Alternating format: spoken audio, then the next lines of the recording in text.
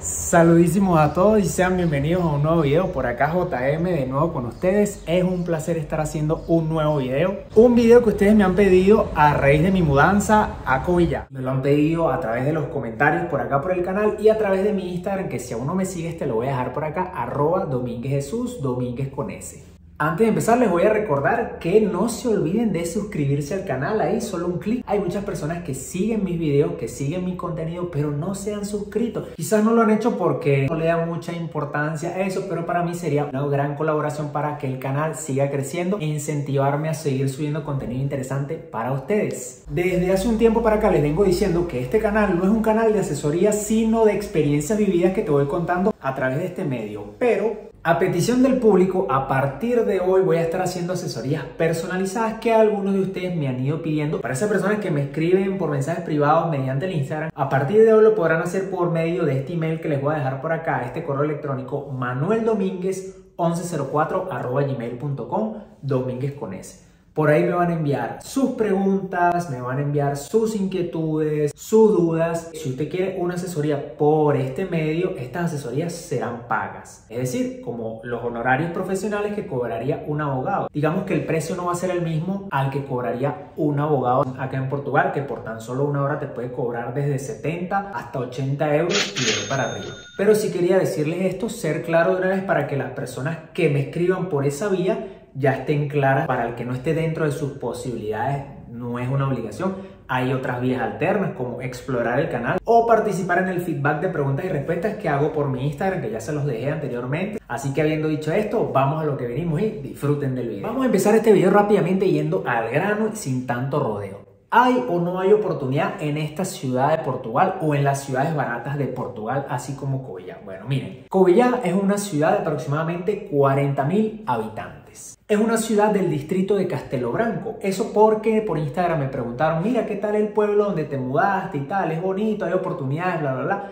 Bueno, por eso aclaro que esto no es un pueblo, esto es una ciudad. Pueblo era la aldea donde estaba viviendo Naveiro y donde la mayoría de inmigrantes vive a los alrededores de Aveiro, esos pueblos que son llamados acá aldeas. Ahora, para responder si hay trabajo o si hay oportunidades en general, de que hay oportunidades, hay oportunidades. Eso sí, depende de la realidad y situación que esté viviendo cada persona. Y esto lo digo porque muchas personas me preguntaron que si en esta ciudad habían fábricas. Y yo sé que esas personas que me preguntan si hay fábricas acá son personas que vienen a Portugal buscando legalidad, buscando una residencia que les permita quedarse dentro de Europa. Recuerden que Portugal es conocido como el trampolín de Europa por ser más flexible a comparación de otros países para otorgar una residencia. Entonces digamos que las personas que vienen a Portugal buscando una legalidad, una residencia porque no tienen ningún vínculo europeo, están viviendo otra realidad distinta a la mía. ¿Por qué yo me vine a vivir a esta ciudad? Primero y principal porque yo tengo papeles, es decir, que el tema de la legalidad para nosotros ya no es una preocupación. Las fábricas acá en Portugal son una oportunidad para que por medio de un contrato de trabajo las personas puedan iniciar el proceso de residencia. ¿Por qué? Porque las fábricas, como bien lo he dicho, son muy grandes, vienen a Portugal, muchas de ellas buscando mano de obra barata. Y esto no lo digo por ofender al que trabaja en una fábrica, lo digo porque en sentido común no es lo mismo que una fábrica se instale en Francia, Alemania o Luxemburgo, donde tiene que pagar salarios de mil y algo de euros, 1500, 1800, en fin, a venir a pagar un salario acá en Portugal a un trabajador de 705 euros. Esto lo digo para que entiendan el contexto.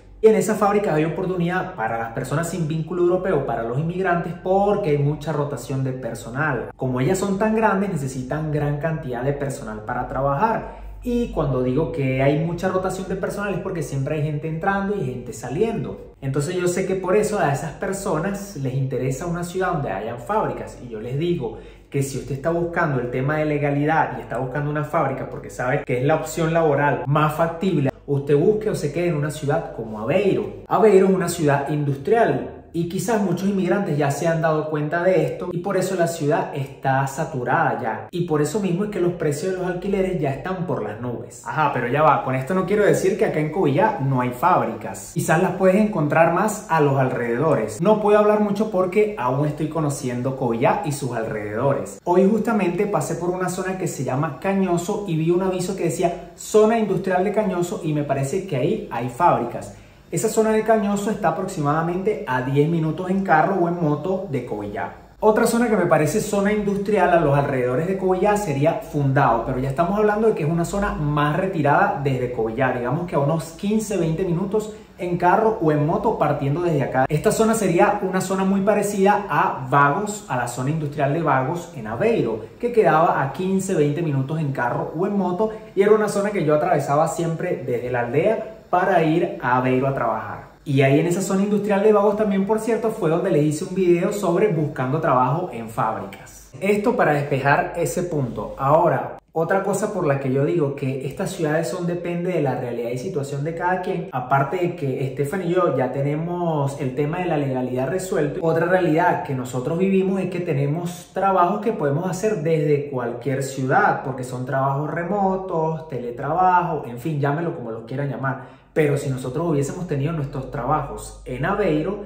la historia hubiese sido diferente, no nos podríamos haber mudado así como así. Entonces, volviendo al punto de que si hay o no hay oportunidades, si hay o no hay trabajo, miren, de que hay, hay. Pero estas oportunidades son más reducidas. ¿Por qué? Bueno, vamos a ponerlo con un ejemplo. Si bien aquí estamos en una ciudad, no en una aldea ni en un pueblo, y aquí hay las mismas cadenas de supermercados y las mismas cadenas de comida, comparando con Aveiro, estas cadenas que hay aquí las hay en menos cantidad. ¿A qué me refiero con esto? Que si en Aveiro hay de la cadena de supermercado Continente tres, que si en la cadena de supermercado Pingo 12 hay dos en Aveiro, que si en la cadena de comida como McDonald's hay cuatro en Aveiro, aquí no. Aquí, por ejemplo, de la cadena de supermercado Continente hay uno solo. De la cadena de supermercado Pingo 12 hay uno solo. Y de la cadena de comida rápida McDonald's solo hay dos que si centros comerciales en Aveiro hay tres, aquí en Covilla hay uno y medio. Y digo uno y medio porque uno es más o menos grande y el otro es algo pequeño. A eso me refiero, ese es el mejor ejemplo para decirles que las oportunidades son más reducidas. Que diga esto no quiere decir de que en esta ciudad o en este tipo de ciudades más baratas o más pequeñas o más retiradas, de las que menos se escuchan hablar, no hay oportunidades para inmigrantes sin vínculo europeo, sin residencia o sin papeles, no. De hecho, aquí hay inmigrantes, hay muchos colombianos, de hecho, me he encontrado a dos que me han reconocido por el canal. Por cierto, les mando un gran saludo, muchas gracias por acercarse, por saludar. Bueno, uno de ellos no me saludó, colombiano también, porque dice que le dio pena interrumpir porque estaba grabando en el parquecito ese del lago donde les grabé el primer video de Cobillá. Y otra muchacha, otra chica, Kelly, colombiana también, que gracias por acercarse, porque siempre me gusta escuchar experiencias. Esta muchacha es colombiana, pero ella llegó aquí ya con una oferta de trabajo porque ella es chef. Entonces ahí cambia un poco la cosa porque no es lo mismo llegar a buscar trabajo que llegar ya teniendo una oferta. Ahora también conozco el caso de unos argentinos que viven acá en Cobillá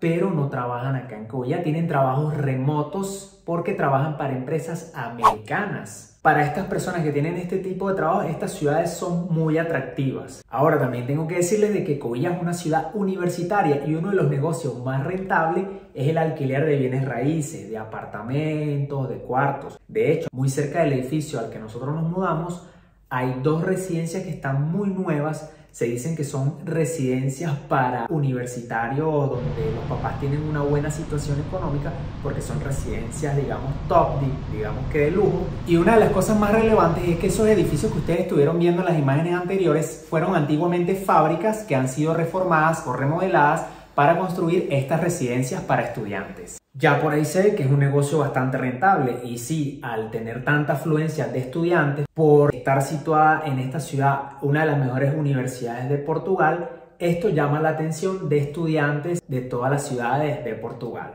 Ya queda de su parte venir a probar suerte en esta ciudad o en estas ciudades baratas de Portugal.